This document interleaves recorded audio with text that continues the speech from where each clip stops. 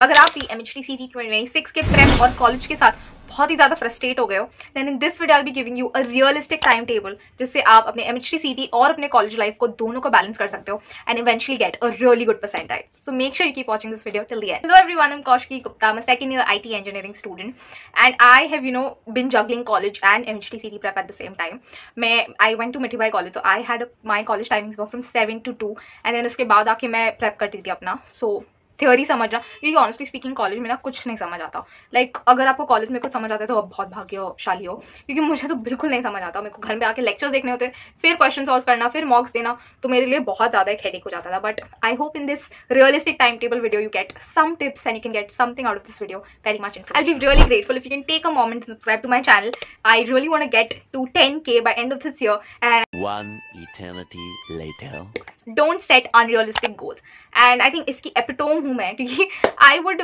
You know मैं college के साथ सबसे पहले मुझे टू डू लिस्ट बनाने में बहुत मज़ा आता है। तो मैं लिखती थी, मुझे ये करना ये करना ये करना ये करना एंड ऑफ़ द डे मेरा कुछ नहीं होता था, उसमें दो टिक्स होते थे। So don't do that please set realistic goals and in fact आज भी मेरा कहीं ना कहीं वैसे ही होता है बट नहीं I tried and I learn to set realistic goals specially क्योंकि आपके कॉलेज के बाद यू नो आप में बिल्कुल एनर्जी नहीं बचती होगी. लाइक आई डोंट नो बचती है then great you have great energy and I hope बचे क्योंकि मुझसे तो नहीं होती थी. मेरे सात से दो कॉलेज होती थी उसके बाद मैं आके मस्त खा के सो जाती थी. बट um, आपकी कॉलेज टाइमिंग्स बहुत डिफर करेगी एंड आपका पूरा टाइम टेबल भी डिफर करेगा. But yes do set realistic goals and make sure आपके बहुत से जो चंक ऑफ़ द पोर्शन है वो हो रहा है आपका वीकेंड्स में.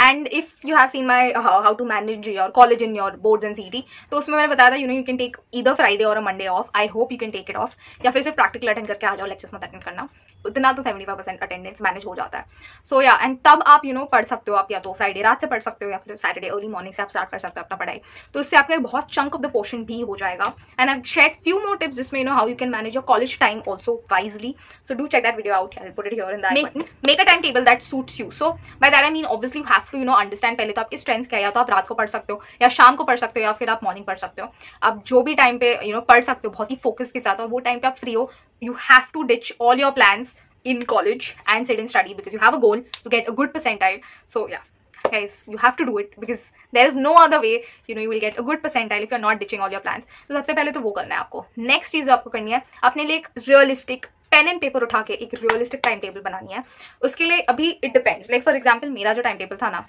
वो सेवन से टू होने के बाद मैं आके सो जाती थी एज आई साइड फिर उसके बाद उठने के बाद आई वुड मेक श्योर कि no reels no scrolling nothing जो स्क्रोलिंग पार्ट होता था ना मैं वो एक्चुअली जब मैं ट्रैवल करती थी मेरे कॉलेज से घर तक तब मैं सारा स्क्रोलिंग और फलाना ढिमकाना जो यूट्यूब वीडियोस देखने हैं वो सब मैं वो तब कर लेती थी जो इंटरटेनमेंट पार्ट है ताकि मैं उठ के सीधा पढ़ सकूँ एंड नो टाइम वेस्ट तो उसमें यू you नो know, काफ़ी मुझे एटलीस्ट एक घंटा तो मिल ही जाता था बिकॉज़ वी ऑल नो अगर हम एक बार स्क्रोल करने बैठ गए गया टाइम जो मैं टाइम टेबल बनाऊँगी, वो बहुत जनरलाइज होगा, क्योंकि मुझे जेनविनली आपके कॉलेज के टाइमिंग्स नहीं पता, आपकी एनर्जी नहीं पता यू नो आपको कब क्या नींद चाहिए होती है। लाइक सब मेरे तरह तो नहीं होते जो दोपहर को सोते होंगे, बहुत लोग दोपहर को एक्टिव होते होंगे तो तब आप पढ़ सकते हो तो या फिर आप जल्दी रात को सोते होंगे। So you have to figure out your time but मैं एक रफ टाइम टेबल तो बता ही सकती हूँ आपको। या तो आपका सुबह का कॉलेज होगा, या तो दोपहर का होगा। अभी दोपहर का होगा तो आपको नो मैटर वॉट आपको जल्दी थोड़ा उठना ही पड़ेगा टू गेट योर मॉर्निंग का स्लॉट तो आपको एक मॉर्निंग का स्लॉट मिल जाएगा, फिर आप अपना कॉलेज अटेंड करोगे, आओगे घर पे। रात को आपको सिर्फ़ रिविजन वाला स्लॉट होगा अभी ना, इतना सब करने में you want see you know you are getting a lot of time तो उसमें आपको अपने कॉलेज का टाइम बहुत अच्छे से यूटिलाइज करना है जेनविनली स्पीकिंग इसलिए मैं बोल रही थी कि आपको एक घंटे, एक दिन छुट्टी लेनी चाहिए। क्योंकि आप आप खुद ही सोचो, आपको नींद तो चाहिए छः से सात घंटे। आप इतना भी कंसिस्टेंटली नींद को भी स्लीप डिप्राइव नहीं हो सकते। तो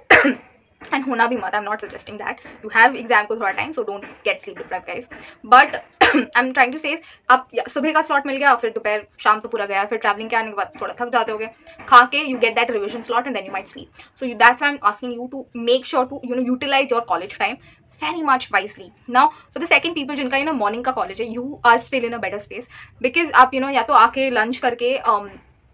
पढ़ सकते हो, या फिर आप सो के थोड़ा उठ के you have your evening slot to study ना उसमें भी मेक श्योर sure आप दिन में सिर्फ़ दो सब्जेक्ट करो. Because managing your you know college your academics and your C T prep उसमें तीन सब्जेक्ट करना is madness only droppers can actually pull it off otherwise and you don't have to be dropper so you have to eventually you know stick to two subjects do math and chemistry और do maths और physics it's उससे आगे मत जाओ. One subject you can try but मैं any how बोल रही हूँ कि प्लीज़ मैथ्स को रोज प्रैक्टिस करो। इट इज़ वेरी इंपॉर्टेंट कि आप मैथ्स को रोज टच कर रहे हो। दो क्वेश्चन तो दो क्वेश्चन सॉल्व कर रहे हो बट करो because maths is very important you have to make sure कि आप यू नो मैथ्स को रोज प्रैक्टिस करो ही no matter all the people are managing college and your C T prep stick to fewer resources ऐसा मत करना कि आपने कोई चैप्टर स्टार्ट किया, अभी आपको क्वेश्चन सॉल्व करना है। आप ये भी बुक उठा रहे हो, ये भी बुक उठा रहे हो, फिर पी क्यों कर रहे हो, ये कर रहे हो, वो करो इतना मत करो। जेनविनली आस्क स्पीकिंग आप कोई भी एक थ्योरी समझो, कोई टॉपिक का, आप जाओ पी वाई क्यूज करो सबसे पहले जेई के भी पी वाई क्यूज कर लो। फिर अगर आपका फिर भी, और उसके पहले जब आप क्वेश्चन सॉल्व करो, उसके पहले आप solve examples go to YouTube genuinely speaking go to YouTube जब भी हमारे नो क्वेश्चन नहीं बनते वो स्टेज पे तो go to YouTube and you know just type JEE और M H C twenty twenty five maths P Y Qs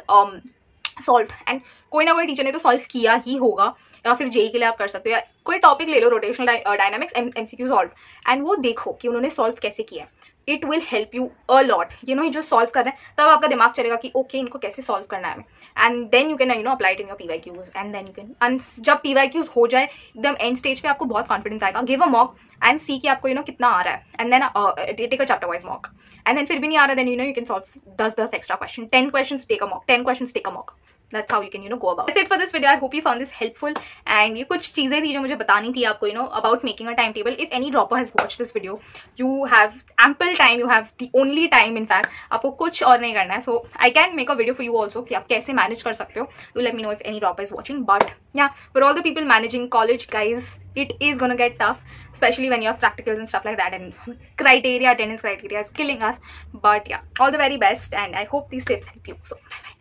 and all the best.